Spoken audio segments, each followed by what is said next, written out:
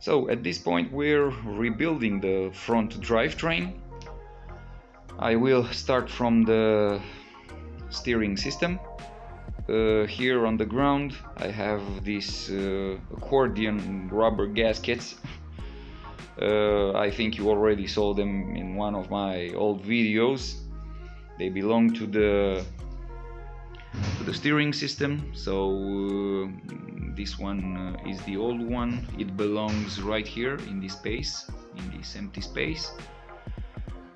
So uh, the new ones will take the place of the old ones because they're really rubbish. They're destroyed. The time did his job on this on these gaskets right here. So if you remember the first thing you have to do is take out this ball joint. So you will open uh, the nut on it's uh, an anti opening system nut that uh, you will take out. Then you will give it uh, a little bump on his head to go down then you will count the rotations you do to unleash it. So uh, when you will uh, reinstall it you will do the same rotation numbers the number that you did in the first place. Uh, that way you won't need to redo the, the geometry of the wheels. Uh, after the steering system, I, uh, I will take a look at the brakes, at the shock absorber. I, uh, I will take out the shock absorber to see that's an oil system right there. It doesn't uses gas. I will take it out to see if it's okay. When I will do the full job on the brakes, I will see if the bearings are okay. We'll substitute them they're not. Uh, the stability bars I already took them out and I can tell you they're different. The rear one is different from the, the front one. They're different pieces. Uh, the rubber bush that uses uh, stock one, the stock piece right here. Uh, I will. Uh, this is the rubber bush that goes from the stability bar to the uh, to the drivetrain. I will. I will call it that way. I will substitute this with a system that I made. I made it myself, but I was inspired by the by the videos I saw on uh, internet. It's what they call the comfort kit. This one right here, I will call it the the V4, the fourth version of the comfort kit. Uh, on the upper side you see all the pieces I bought to recreate the rubber bush. Um, so it's all uh, high quality steel high quality rubber. I used um, I bought there and to to simulate the pieces from Renault. The springs uh, are uh, much more powerful than than the ones they used in the past on the first version on the second one because I want to I want the car to have the same stability on the road and uh, I want to gain some comfort. Uh, you will see uh, you will see that uh, step by step when I will uh, when I when I will uh, install the, the stability bars on the car. So I think I think I didn't left nothing behind and uh, we'll keep you updated. Let's go guys.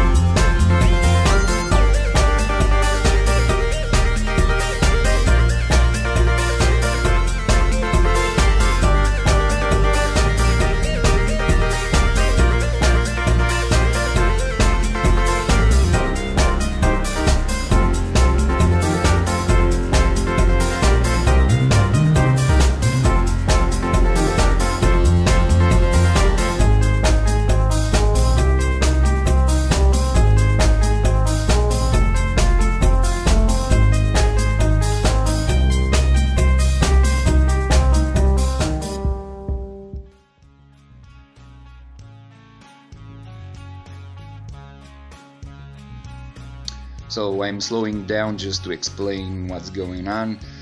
I had a little fight uh, in this moment so it's better that it's better if I warn you what you're handling with. Uh, in the first place I took off the brake caliper right here.